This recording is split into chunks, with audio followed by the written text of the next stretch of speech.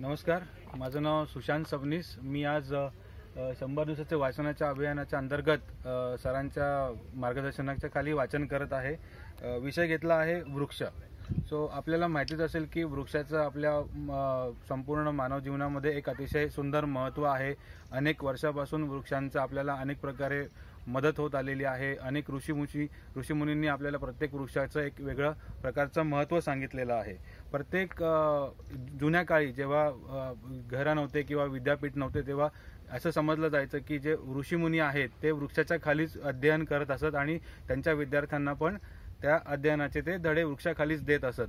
त्याच प्रकारे प्रत्येक वृक्षाचं एक वेगवेगळं महत्त्व आहे वेगवेगळे उपयोग आहेत. जसे काही वृक्ष फळ देतात आपल्याला काही वृक्ष आपल्याला औषधी सामग्री करून देतात. काही वृक्ष जे आहेत त्यातनं फुलं आपण घेत असतो ज्याला वृक्षवेली म्हणतात किंवा फुलझाडं वगैरे म्हणतात.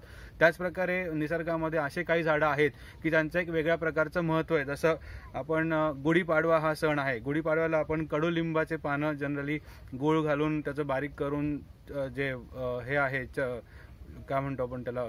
प्रसाद. प्रसाद म्हणून खात असतो. त्याच्यानंतर वटपौर्णिमा हा सण आहे ज्याच्यामध्ये वडाचं झाड पूजलं जातं. ज्याच्या ज्याच्या मागे अशी भावना आहे की वडाच्या झाडाप्रमाणे त्या स्त्रीचा संसार देखील खूप लांब चालू राहावा. कारण वडाचं झाड जे आहे ते वर्षानुवर्ष मोठं आयुष्यमानाचं मानलं जातं. त्याच्यानंतर सत्यनारायण पूजा हा एक जनरली सगळ्यांच्या घरी केला गेलेला पूजेचा सण ज्याच्यासाठी केळीचे पानं आपण जनरली वापरतो किंवा मोस्टली केळीचीच पानं वापरतात ज्याला एक वेगळ्या प्रकारचं महत्त्व आहे. त्याच्यानंतर दसरा आपण आपट्याची पानं हे सोनं म्हणून प्रत्येकाला वाटत असतो. तर ह्याच्या मागे पण एक खूप मोठी कथा आहे. एक मिनिटाच्या व्हिडिओमध्ये सगळं सांगणं शक्य नाही पण हे सगळ्या महत्त्व सांगण्याचं इंटेन्शन असं आहे की तुम्ही पण वृक्षाच्या सानिध्यात या जास्तीत जास्त झाडे लावा आणि या सृष्टीला त्याचा निसर्ग मेंटेन ठेवण्याचा प्रयत्न करा.